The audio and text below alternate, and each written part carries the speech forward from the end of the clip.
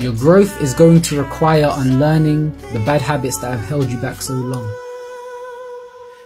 When we are motivated and inspired, we can usually take the first steps required. The question is, what does your life require from you?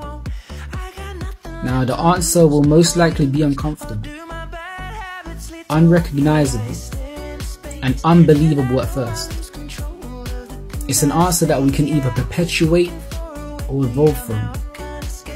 It's an answer that will most likely involve a lot of deprogramming and reprogramming of the mind, body, and spirit to truly grasp the long term benefit of the decision to unlearn and relearn. So, when you are growing through what you go through, take some time for introspection and reflection. To meditate on it and elevate from it those lessons, the lessons that you learn. Because the lessons that are learned can become your knowledge that is earned. Now be still and know this.